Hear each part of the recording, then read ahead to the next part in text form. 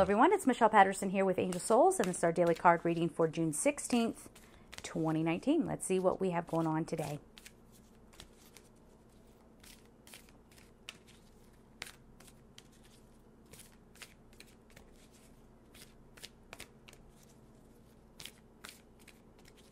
Okay, our card for today is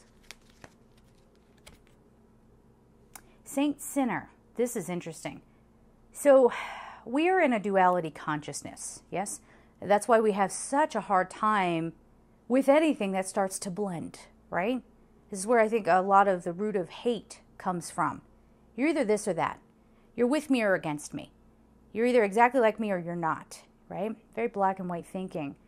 And we can often look at ourselves like that. I'm good or bad. I'm a saint or I'm a sinner. You're a blend of both. And anybody who sits there and tries to tell you, no, no, no, no, no, I'm not negative, I'm not negative. I think we've learned our lesson from that, have we not? right? To start staying away from people who are, you know, they, they never address being human or they try to escape being human or using their spirituality as a tool of escapism, right? So just come to terms with whatever's going on here today. It might be that something comes up that you feel some guilt around.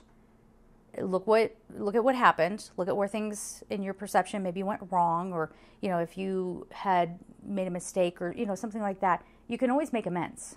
So don't feel don't allow yourself to get too torn up about it, but just acknowledge it.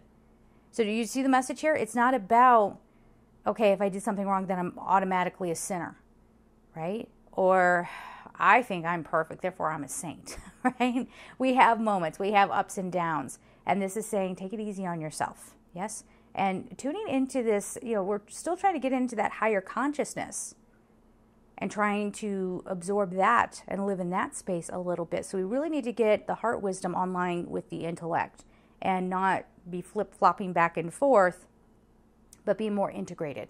All right? So we're going to leave it there, guys. I'm sending you so much love and take care. Bye bye.